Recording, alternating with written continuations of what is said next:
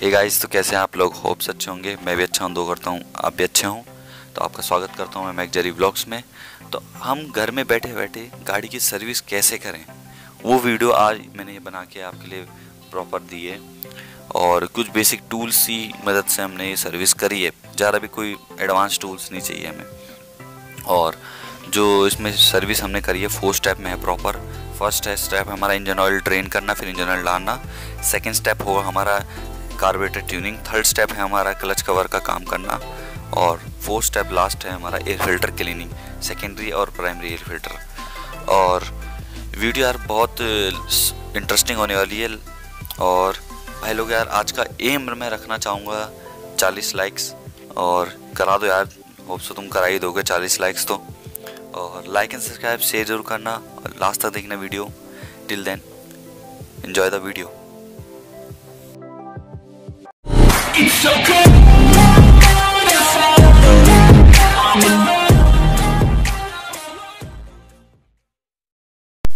तो first step के लिए हमें चाहिए जो टूल वो था 12 नंबर का रिन टॉर्क रिन चाहिए, जिसमें 12 नंबर की हम गोटी लगाएँगे और जो हमारा ड्रेन बोल्ट होता है, वो 12 नंबर का होता है, उसको उससे खोलेंगे और इंजन ऑयल ड्रेन करेंगे तब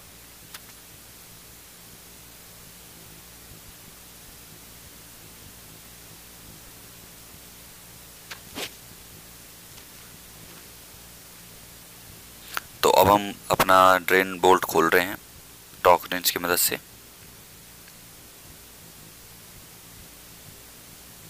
और जैसे आप देख रहे हैं इंजन ऑयल कितना काला हो चुका है, इसलिए हम इंजन ऑयल चेंज कर रहे थे और इंजन ऑयल अब निकल रहा है। अब थोड़ी देर इसको छोड़ देते हैं, जब तक तो इंजन ऑयल निकलता है।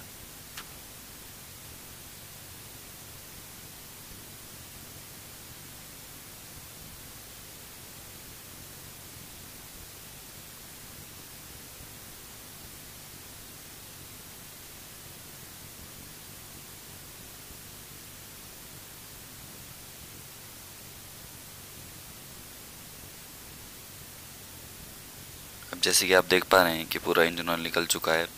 अब गाड़ी रेडी है कि हम उसमें न्यू फ्रेश ऑयल डालें। हमने अपना बारह नंबर का ड्रेन बोल्ट जो था वो वापस लगा दिया है उसकी जगह पे और मेक श्योर sure कि आप उसको फुल टाइट करें, वरना तेल लीक कर जाएगा। और जैसे कि आप ये देख रहे हैं, ये हमारा फ़र्स्ट स्टेप कंप्लीट हो गया है।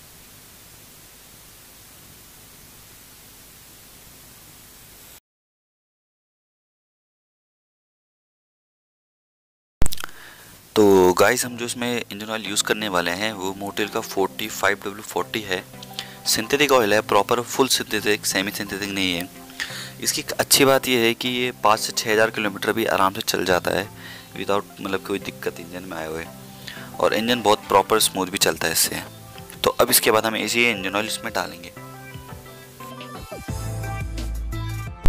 तो अब हम इस इंजन ऑयल का जो, जहाँ से तेल डालते हैं, हम उसको कैप को खोल देंगे। और उसके बाद हम डालेंगे एक फनल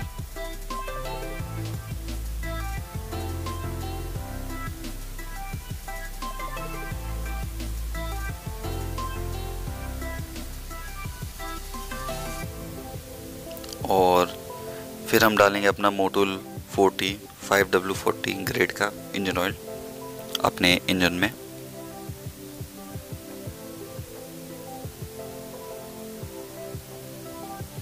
और जो इंजन ऑयल है वो धीरे धीरे डालें, वरना वो इंजन ऑयल बैक मार जाएगा और साइड से निकल जाएगा वो।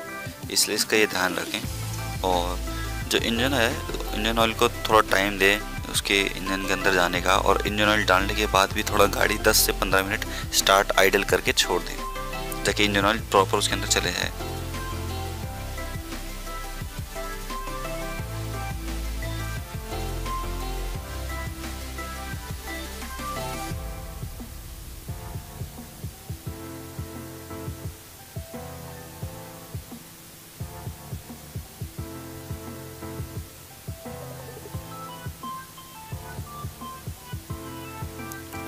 इसकी कैप वापस लगा देंगे और इसको प्लास से प्लायर की मदद से टाइट कर दें जाकि इंजन ऑयल वहाँ से बैक ना मार दें।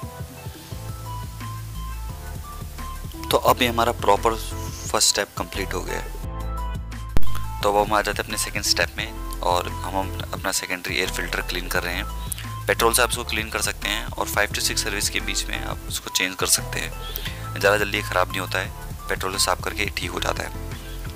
और उसके बाद जब हम अपने कार्बोरेटर ट्यून करेंगे तो उसके लिए हमें दो बोल्ट, दो पेचकस चाहिए, टू टू पिन वाला और फोर पिन वाला। और उसमें दो बोल्ट होते हैं, स्प्रिंग वाला और सिंपल एक सिंपल नट होता है। सिंपल नट का काम बहुत इंपॉर्टेंट है कार्बोरेटर में, इसको कम ही छेड़ें, जिससे इसमें जो हमारा पेट्रोल आ रहा है, उसका मिक्सचर का होता है, और दूसरा जो होता है, एयर का मिक्सचर का होता है, स्प्रिंग वाला। तो अगर आप बार बार इसको छेड़ेंगे तो ख़राब हो जाएगा, कार्बोरेटर उसकी ट्यूनिंग नहीं हो पाएगी। और जैसे कि हम ट्यून कर रहे हैं, बहुत ही आराम से। और अब इसकी ट्यूनिंग हो चुकी है पूरी। तो अब हम आ जाते हैं अपने थर्ड स्टेप में। इसके लिए हमें चाहिए एट नंबर की टी चाहिए हमें। और अपने क्रच कवर को खोलने के लिए। जैसे कि हम खोल रहे हैं, हम देख पा रहे हैं।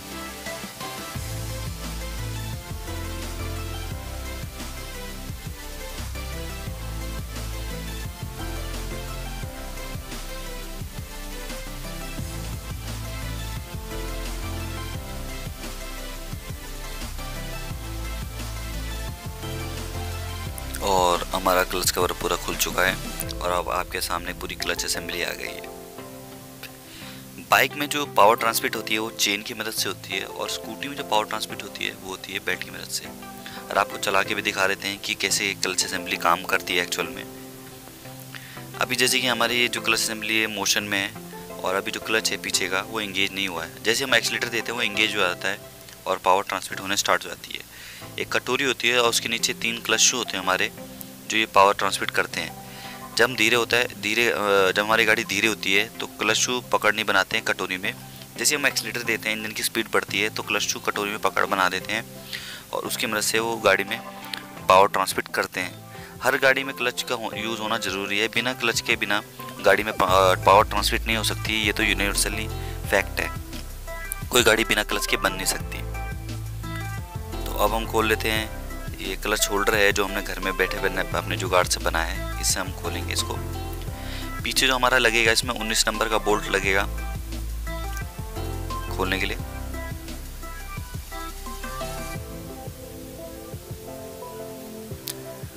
तो अब ये हमारी पूरी क्लच असेंबली है।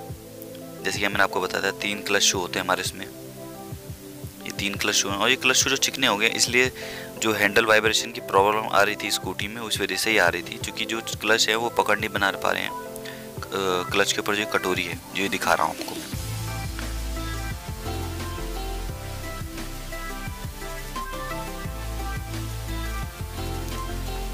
तो अब हम इसके लिए हम क्या करें? तो हम पकड़ेंगे अब इस कटोरी को और रेगमाल से इसको घिसेंगे ताकि ये थोड़ा चिकने से थोड़ा रफ हो जाए।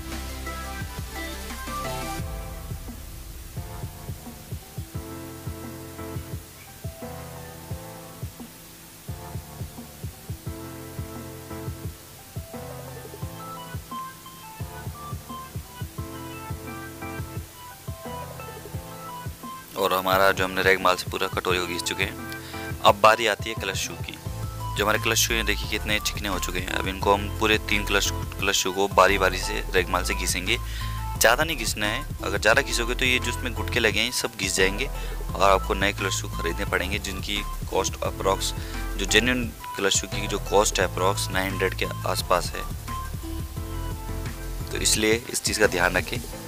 थोड़ा सा घिसना है। रफ करना है उसको क्योंकि वो चिकने हो चुके हैं। पूरा नहीं घिसना है।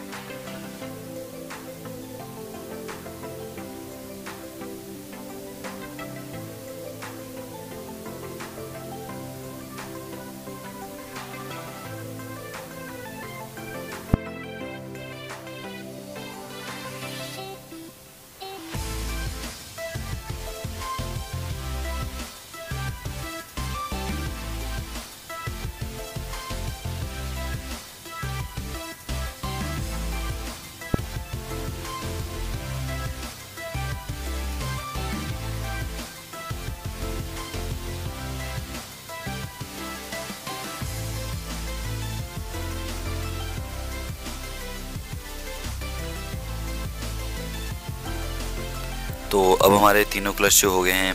रफ़ कर दिए हमने उनको। अब वो बिल्कुल प्रॉपर हो चुके हैं। और अब प्रॉपर फिट हो चुके हैं कि वो अब क्लच की जो कटोरी होती है, उस पर प्रॉपर पकड़ बना पाए और पावर अच्छे से ट्रांसमिट कर पाए। इससे हैंडल वाइब्रेशन की प्रॉब्लम भी ख़त्म हो जाती है और साथ में गाड़ी का पिकअप जो प्रॉब्लम होती है, वो भी ठीक हो जाती है। तो मेक श्योर sure गाड़ी को इस चीज़ का काम आप टू टू थ्री सर्विस के इंटरवल के बीच में कराएँ, बार बार ना कराएँ। अब हम इसको दबाएँगे, इसके अंदर बेल्ट डालेंगे।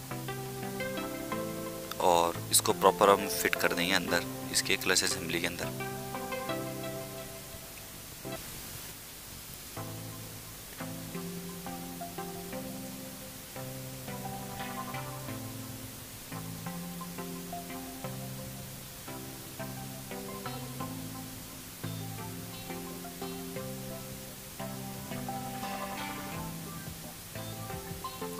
अब हम इसका जो बोल्ट है उन्नीस नंबर का।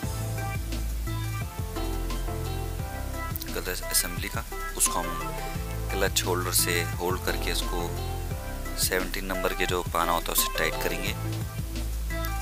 मेक श्योर sure इसको ढंग से टाइट करें, वरना ये नट खुल सकता है और अगर ये मोशन में खुल गया तो आपका डैमेज कर सकता है क्लच असेंबली को।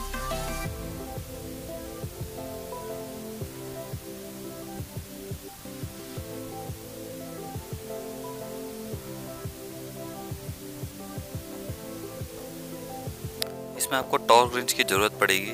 जो टॉर्क रिंच है, उससे ज़्यादा अच्छे से टाइट हो पाता है। ना कि कोई और आप टूल यूज़ करें। मेरे तो मेरा रिकमेंड ये हुआ कि आप टॉर्क रिंच का यूज़ करें टाइट करने के लिए। तो हमारी जो क्लच असेंबली है, पूरी हमने फिट कर दी है। हर बोल्ट टाइट कर चुके हैं। अब इसका क्लच कवर लगाएँगे हम ऊपर से।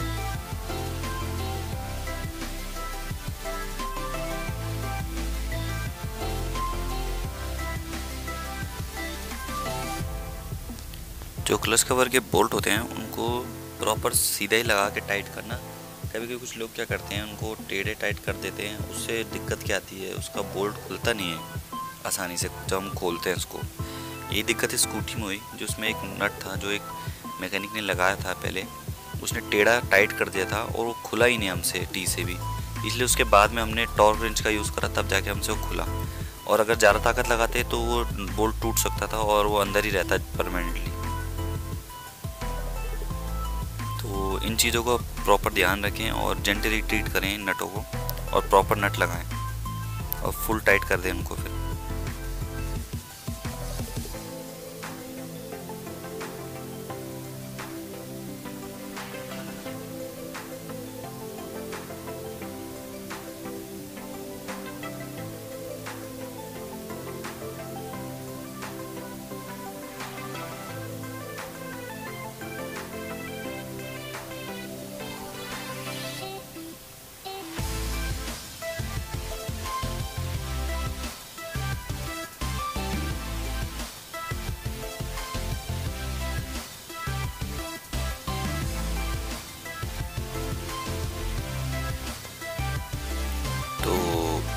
अब हमारा हो चुका है थर्ड स्टेप प्रॉपर कंप्लीट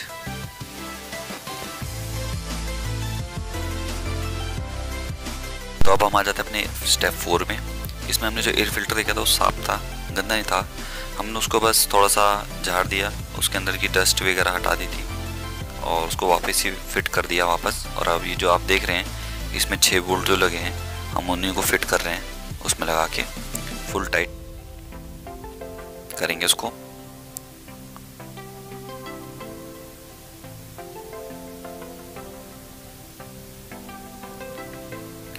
तो ये हमारा फोर स्टेप कंप्लीट हो चुका है। हे hey गाइस तो कैसे लगी आपको ये वीडियो होप्स अच्छी लगी होगी, क्योंकि मैंने इसमें हर एक पार्ट प्रॉपर दिखाया है। ज़रा कट पेस्ट नहीं कराया, उसमें फास्ट फॉरवर्ड भी नहीं कराया। और इस बार लगते हैं वीडियो का एम 50 लाइक्स का। पहली बार रख रहा हूँ एम का यार। तो करवा ही देना यार। होप सो करा दोगे तुम 50 लाइक्स और लाइक एंड सब्सक्राइब शेयर ज़रूर करना और शेयर करो अपने दोस्तों के साथ ज़्यादा से ज़्यादा। और ज़्यादातर यही हो रहा है मेरे इस वीडियो में। व्यूज़ आ रहे हैं लाइक्स आ रहे हैं, पर हमारे सब्सक्राइबर इंक्रीज नहीं हो रहे हैं। तो भाई जितने भी लोग देखते हो यार भाई सब्सक्राइब करे बगैर मत जाना।